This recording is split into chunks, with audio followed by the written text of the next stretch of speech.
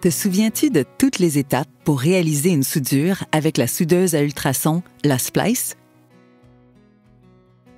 Cette vidéo t'aidera à suivre, dans l'ordre, les cinq étapes pour réaliser la soudure. Voici un résumé des cinq étapes. Tout d'abord, tu dois vérifier que tu as tout ton matériel. Ensuite, tu dois préparer les fils, calibrer la soudeuse à ultrasons et procéder à la soudure des fils. Finalement, tu dois rouler les fils soudés et les déposer dans le bac de rangement. Débutons avec la première étape, la vérification du matériel. Avant de procéder, il est bon de vérifier le matériel nécessaire pour réaliser la tâche de soudure.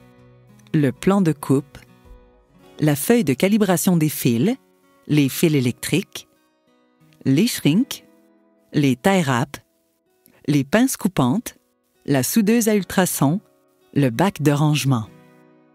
La deuxième étape consiste à préparer les fils. Voyons maintenant comment Marie prépare ses fils. À partir du plan de coupe, elle s'assure d'avoir les bons fils. Ici, Marie doit souder trois fils 57B, un de 26 pouces, un de 39 pouces et un de 45 pouces. Marie retire d'abord la gaine sur le bout de chaque fil pour exposer le cuivre. À l'aide de la pince coupante, Marie coupe le tie wrap qui tient le paquet de fil de 26 pouces. Elle place ce premier paquet à sa gauche. Ensuite, elle coupe le tie wrap du paquet de fil de 39 pouces et place ce deuxième paquet à sa droite. Finalement, elle coupe le tie wrap du paquet de fil de 45 pouces et place ce troisième paquet à sa droite. Marie place ses fils de gauche à droite en reproduisant l'ordre des fils indiqués sur le plan de coupe. Voici le résumé des actions à réaliser pour la préparation des fils. Pour chaque nouvelle commande de soudure, Marie refera les mêmes opérations pour préparer tous les fils à souder. La troisième étape consiste à calibrer la soudeuse à ultrasons. Après la préparation des fils, Marie doit maintenant calibrer la soudeuse à ultrasons. Elle l'allume en appuyant sur le bouton On. Remarque l'écran qui s'allume. Il informe Marie que le système démarre.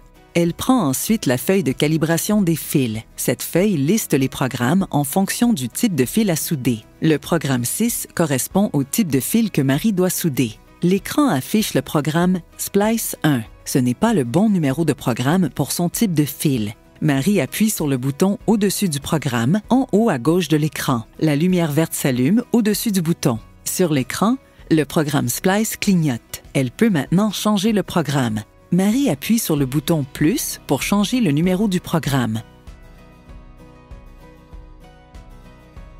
Lorsque le programme 6 s'affiche, Marie appuie à nouveau sur le bouton au-dessus du programme pour lui indiquer son choix.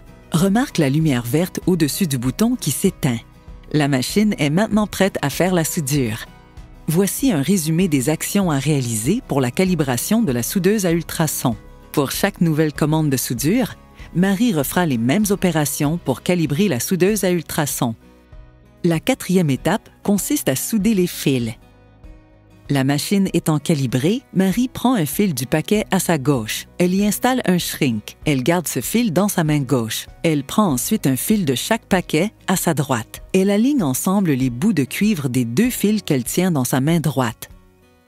Elle les insère dans la fente de la soudeuse, suivi du fil qu'elle tient dans sa main gauche. Il est très important de mettre les fils les uns par-dessus les autres et non côte à côte.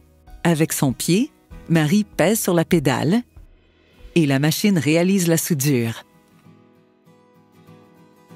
Voici un résumé des actions à réaliser pour la soudure des fils. Marie répétera ces étapes pour tous les fils de la commande. La cinquième et dernière étape consiste à rouler et à déposer les fils dans le bac de rangement. Une fois la soudure réalisée, Marie sort les fils soudés de la fente de la machine et elle les roule ensemble. Elle prend ensuite un tie wrap et attache ensemble les trois fils soudés. Elle dépose enfin les fils attachés dans son bac de rangement. Voici un résumé des dernières actions à réaliser. Marie répétera ces étapes pour tous les fils de la commande. Une fois la commande terminée, Marie ferme la machine en pesant sur le bouton Off. Voilà, tu sais maintenant tout comme Marie, qu'il faut cinq étapes pour remplir une commande de soudure de trois fils électriques avec la soudeuse à ultrasons. N'hésite pas à réécouter cette vidéo en entier ou encore une des étapes pour te souvenir des actions que tu dois faire pour bien réaliser ta soudure.